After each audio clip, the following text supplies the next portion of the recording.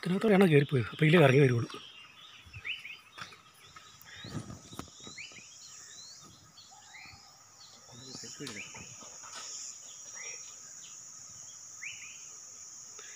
അതിന് ഇതിലേ ഇറങ്ങാൻ മാർഗമുള്ളൂ കേട്ടോ.